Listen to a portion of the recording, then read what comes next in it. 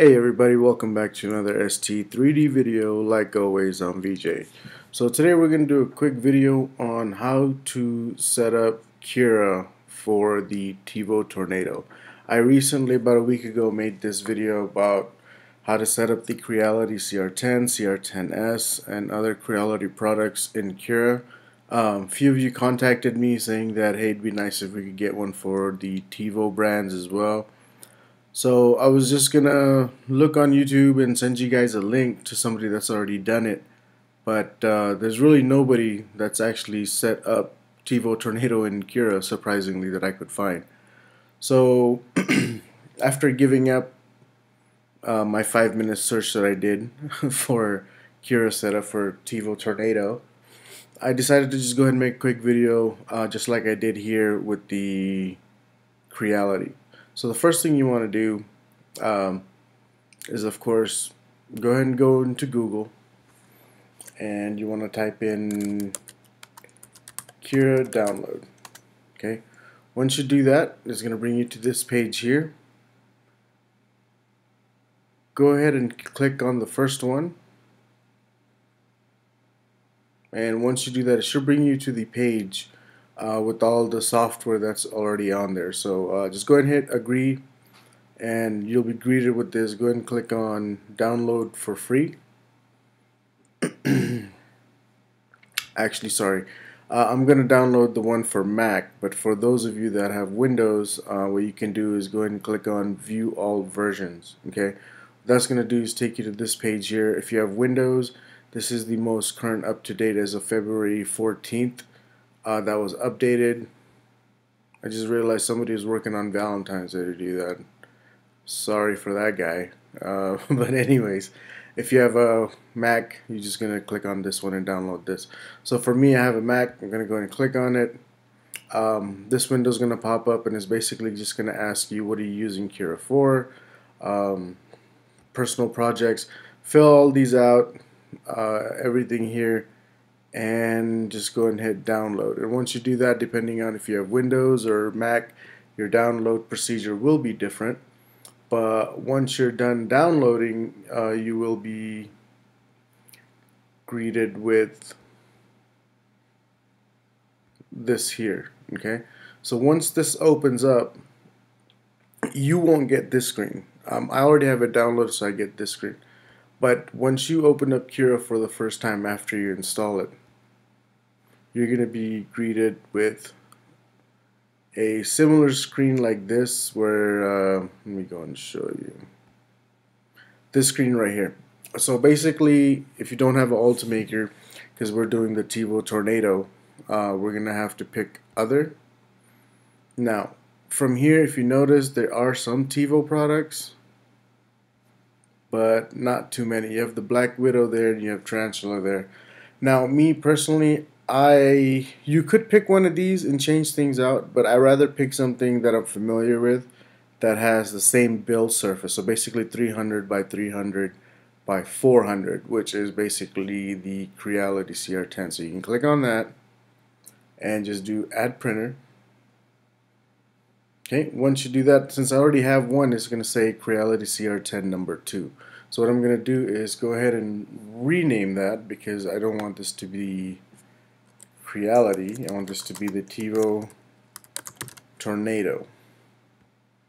And once you hit OK, it changes the name there. So that was the first step. The second thing you want to do is go over here where it says Machine Settings and click on that. Okay. And at any point, guys, if you ever uh, kicked out of the screen and you end up here and you don't know what to do, um, you just click on Ultimaker Cura, go to Preference, click on Printers, and it'll bring you right back to the screen. So we're going to go to Machine Settings again. Uh, and I've already set the diameters on it uh, by default. Actually, Cura does that for you by default because it knows the build surface uh, is 300 by 300 by 400 things that you want to look for here um, heated bed make sure it's checked off okay these right here um, will work I use them just like this on the Tevo to print and doesn't give me any problems. But if you actually have some numbers in mind you can actually do that as well. Uh, you can change these just by clicking on it and changing it to whatever you want. So make sure only thing we're looking for here is the heated bed is checked off. Now do not check this off okay? Leave it unchecked because the center for certain printers are at different locations. So center at uh, origin at center basically means like uh, you would think it would be in the middle of the the bed but it's not. Like for the Creality it's towards the left and I believe the tornado is the same. So if you check this off your print's gonna start printing here instead of printing in the center. So just make sure leave it blank. We just want to leave heated bed. Then you're gonna go to extruder and what we're checking for here guys is just make sure the Tevo tornado comes with the 0.4 millimeter nozzle so just makes that make sure that's 0.4 uh, the filament size just go ahead and make sure it's 1.75 once you do that we're gonna go ahead and close this off. Now that's basically it. After this you can go ahead and start printing. If you notice here uh, you got the Tevo settings and if I switch back to Creality you can add as many printers as you want. Um, but I'm gonna go and show you a few more things on here uh, for those of you that are very new to this and don't know what these settings are if you notice the basic settings here is you can just set your layer height print speed infill percentage uh, if you want to generate support and that's it. This is like the most basic things you can start off with if you have no idea how Cura works. If you do you can go into customs and um, or custom and click on these little arrows here and pick what you want by clicking on this little gyro here. Select the ones you want uh, to actually define um, value for and just go ahead and check it or check it off. And once you check it and hit close it'll come up here and then you can go ahead and use everything. Now just to let you guys know okay uh, right here under material um, we're just gonna pick PLA and here pick the point two even though this is the Creality setup we're just changing the name everything here now will work for the Tevo and the point two guys if you're not very familiar with um, how to use Cura, the point two will get you decent prints right off the bat. I guarantee it. If you have your bed leveled perfectly and your printer works uh, fine, uh, you, sh you should be getting great prints just off of this here. Now, next video that I do make, for those of you waiting, I do apologize for the long wait, but I will have a new Cura profile uh, point two that I'm customizing myself, and I'll have that on there. But for right now, if you're just looking for a profile to put on here, I'll put a link to this uh, group here. It's my Facebook group, um, Santube 3D printing group.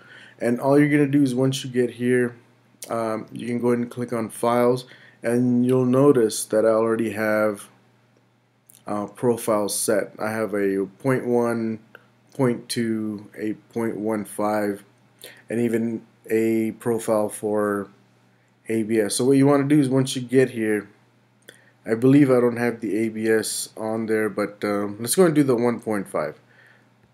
So let's say you want to use my profile just to get started. Click on the right side right there. Click on download.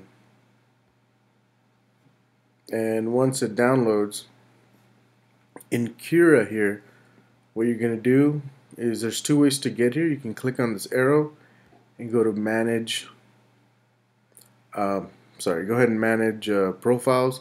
Let me go ahead and delete this one. Because this is the one we just downloaded. So let's say there's nothing here and you want to import my profile all you're going to do is click on import and you're going to go to your downloads and you'll see right there sand point SAN 2.15. Once you click on that, go and double click or open, you'll see it'll say imported successfully and there it is right there. And once you click on that, it'll tell you what the parameters are set to here. Uh, you can close this. Now you can go in here and actually select that profile and it'll change everything up according to how I have it set. So if you notice this gray area showed up um, on the build plate because I, I usually like to my, make mines a little bit narrower Um, so I have a printing surface of 300 by 300 by 400. I, I do 298, 298 by 398, just in case there's ever a problem. But that's how you import profiles into Cura. Um, a few things that you would want to know about is first, this is where you go to upload a file. So let's go ahead and click on download and apparently I don't have any STL files. That's kind of crazy. But this is a G-code that I already transported. This is one of my test prints that I'm doing for my new profile. So that's how you load in profiles. And these symbols here, uh, basically what it is, it's before you would have to move around to navigate Cura.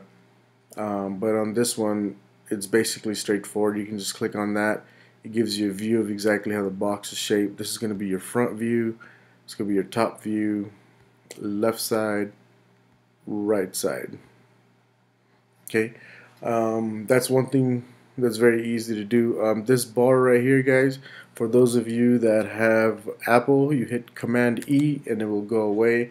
The reason you would want to use that is if you have a large print or if you want to take up the whole screen to look at it to bring it back it's the same thing command E for Windows it's going to be control E to get rid of it and to bring it back okay so that's basically just a quick setup of the Tevo Tornado a uh, few functions how to load STL files and a quick view here if you want to know more detailed on how to use this. I have other videos out there. Go ahead and take a look. You can go to layer view there. Uh, like I said, this little gyro here, if you click on it, oops. If you click on it, it'll bring up everything that's available that you can pick. Notice I don't pick everything. I don't think there's any uh, 3D printer out there that picks every single feature because the more features you have, uh, selected, the more likely you have, have likely to have issues. Um, but that's basically it, guys. Um, I hope you guys found this helpful. If you have any questions or comments, leave it down below. You know I'm always here to help you guys out. Uh, if you want to see more new content, go and stay tuned. Subscribe to the channel. Turn on your notifications. Every time I make a video, you will get a notification of that. Uh, I will put a link to the YouTube channel as well. So if you just happen to come across this video and you want to check out the rest, um, you'll actually be directed to the page on that one. Um, so again, uh, leave a comment if you have any questions, concerns. For those of you that don't follow me or haven't been following me, I answer every single comment that I get, whether it be a question with a yes, no, or I don't know, um, or an answer to help as many people as I can out there to get um, to make their transition very smooth into 3D printing world. So there you go guys. Uh, once again, thank you for watching and like always, good luck and happy printing.